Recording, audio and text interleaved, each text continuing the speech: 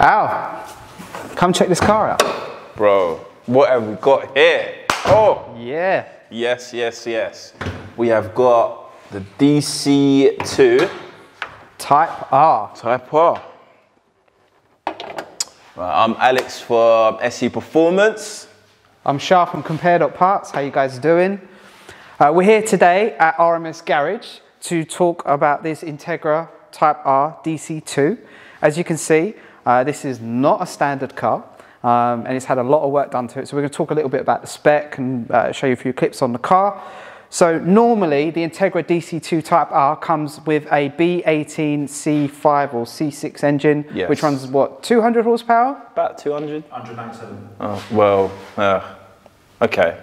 Thank you, guy. Cheers. Hundred, sorry, correction. 197 horsepower standard. What's an extra Oh no, what's three horsepower amongst friends, eh?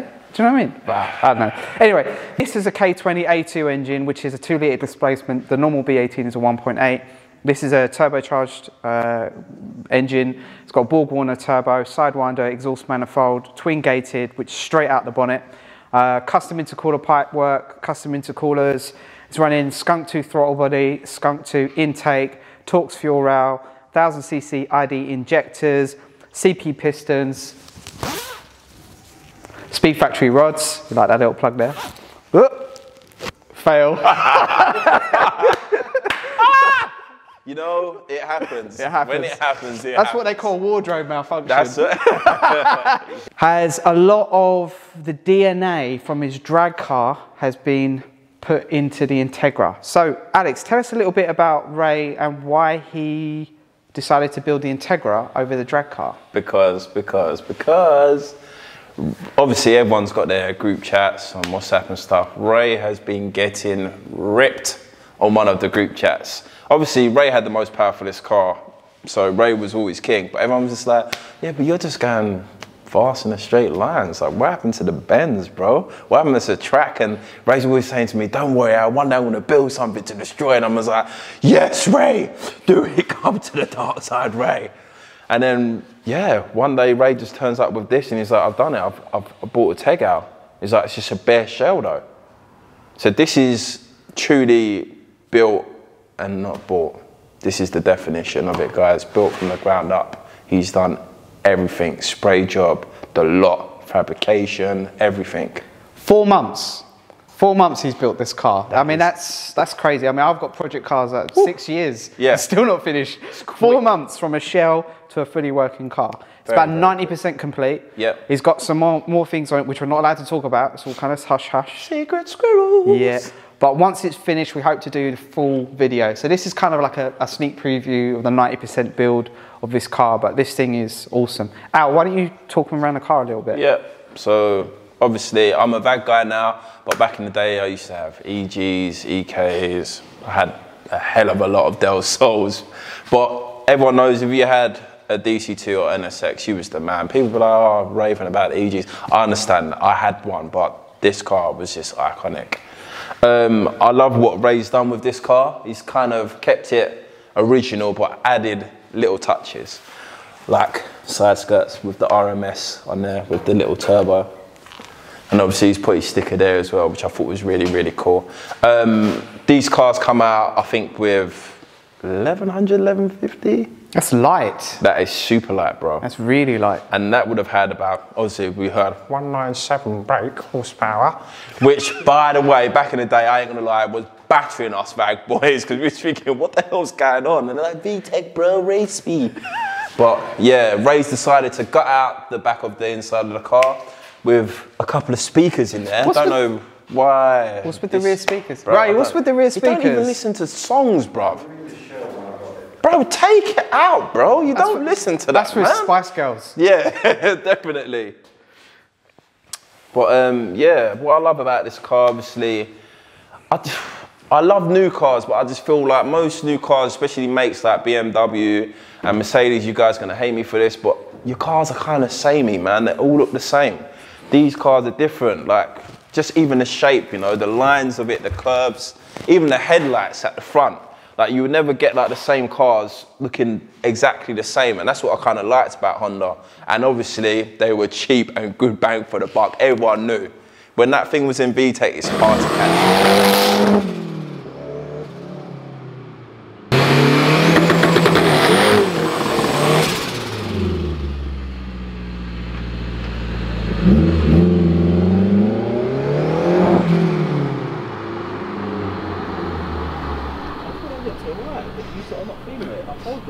Yeah, look at this beautiful shot right here.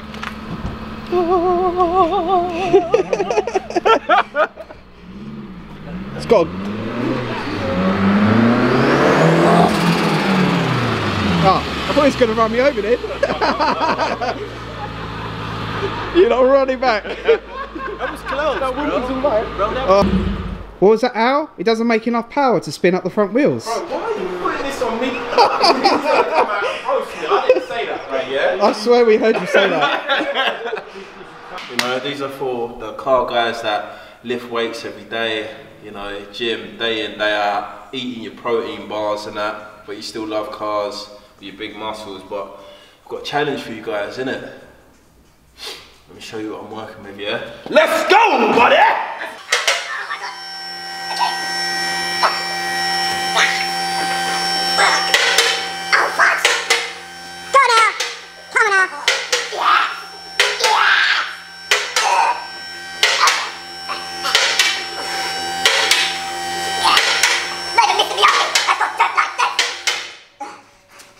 Yeah, that's how you do it, bro.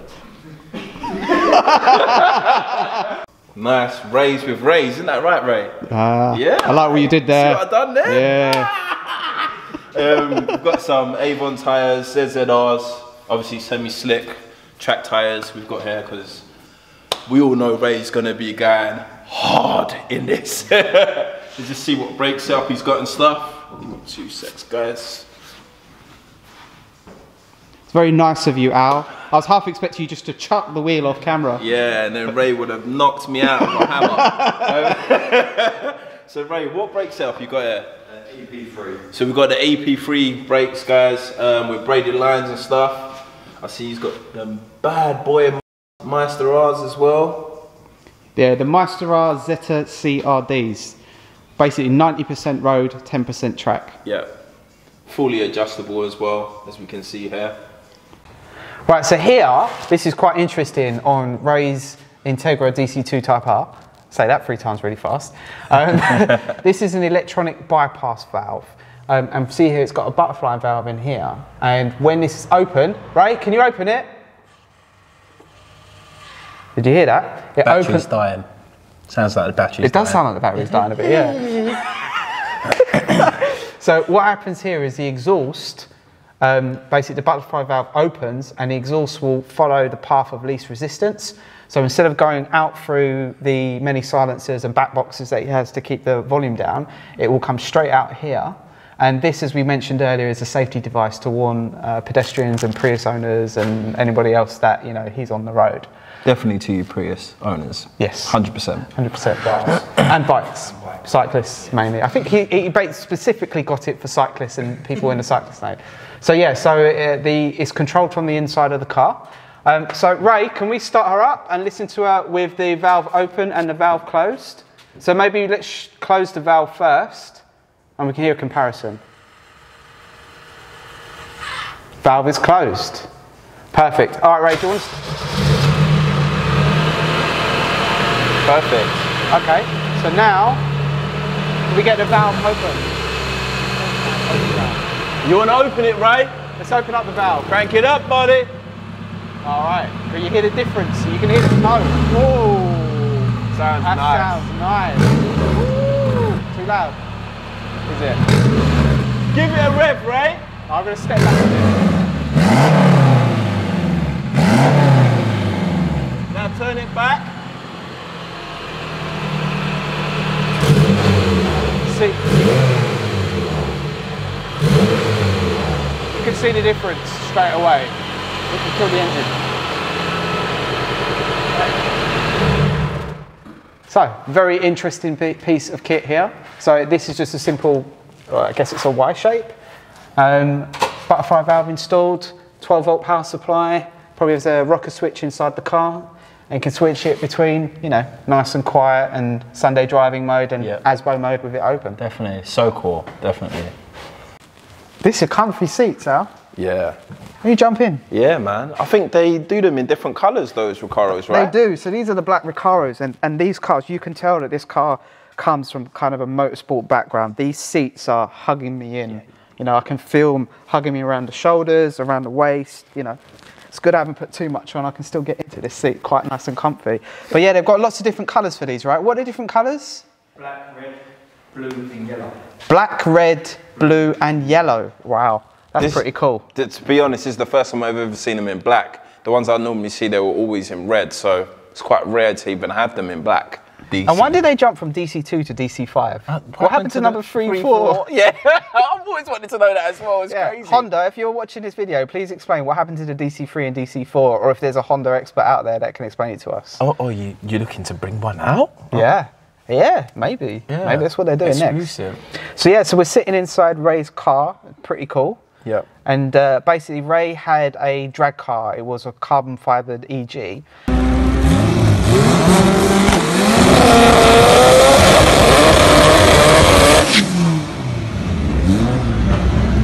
and um, he decided that he wanted to get out of drag racing and get into track racing. So a lot of the really cool gear that was in that car has been put into his Integra. So we've got some really cool things in this car.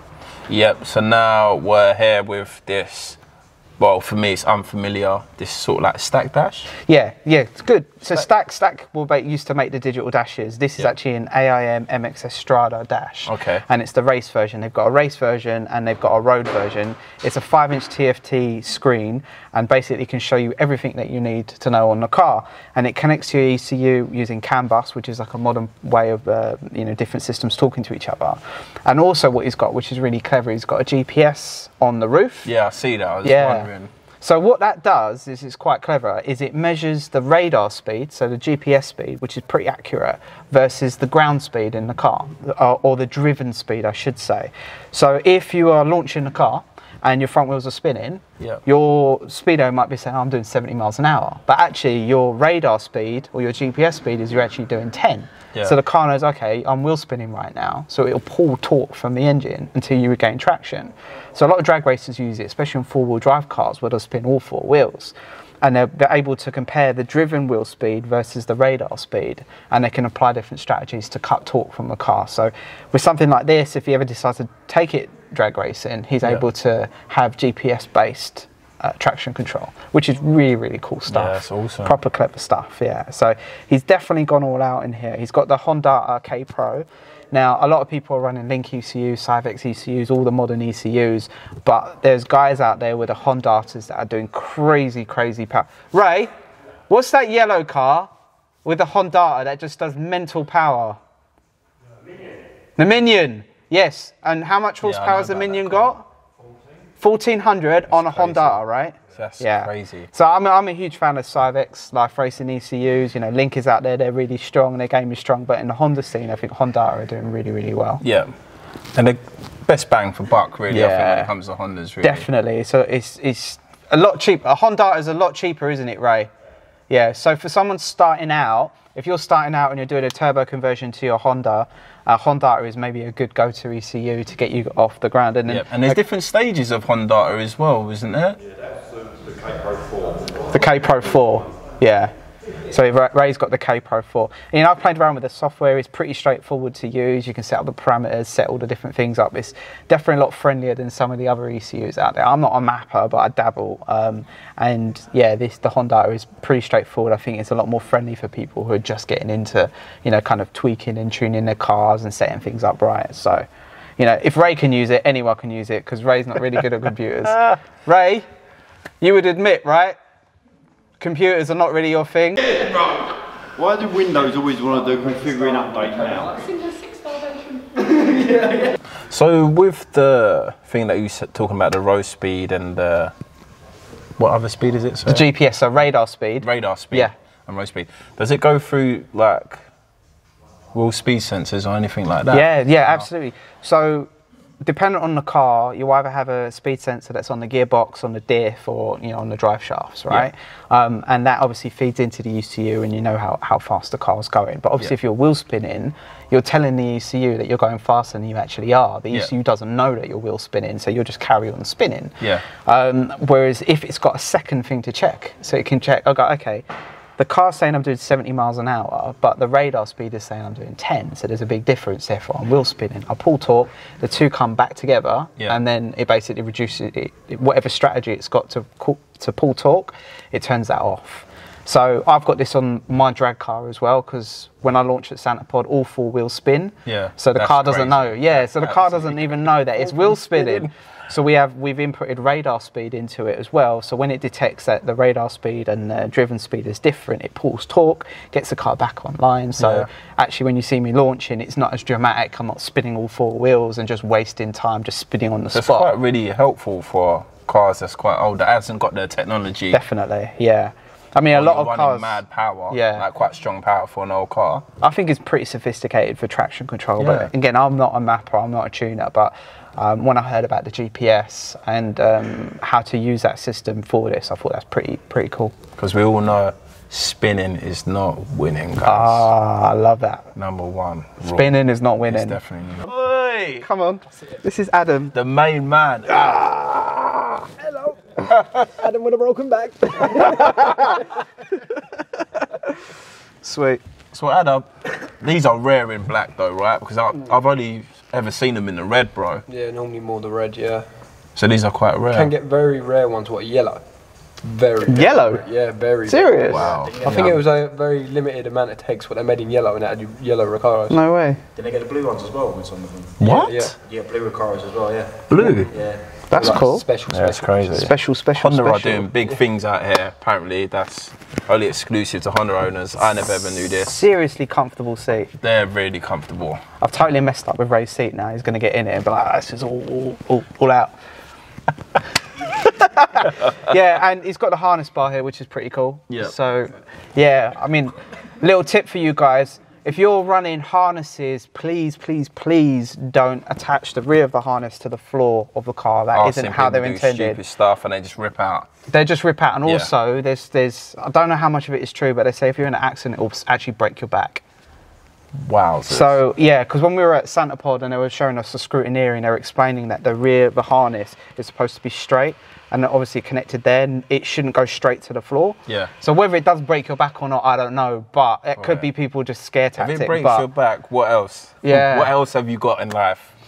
So if That's you're going to put harnesses in the car, please don't just attach it to where the rear belt would be, because a lot of I've seen a lot of people do that. Use a harness bar if you're going to do it. Yeah. Adam, check this out. Can you get this on camera?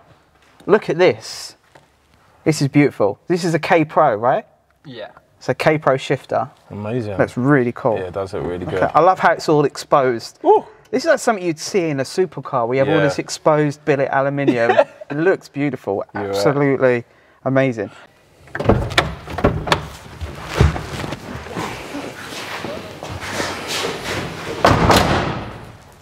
We hope you enjoyed this video of this Integra DC2 Type R with a cool turbo conversion. Yeah. Over to you. Please, guys, like, subscribe, because we know you love this video. Look at the packs packing. My God. No, I'm joking, guys. Need to like and subscribe because we're gonna have a follow-up of number two, and you're gonna see this baby run in motion, and that's what we're here to see, right? And I've been Alex Thompson for SE Performance. Shah from Compare.Parts. Make sure you tell your friends, make sure you tell your neighbor, make sure you tell your grandma, everybody. make sure they all watch these videos. We need the subscribers. And if you've got any fun cars that you want us to review, please email us. Thank But if you if it's a Prius, you can Yeah, no Priuses.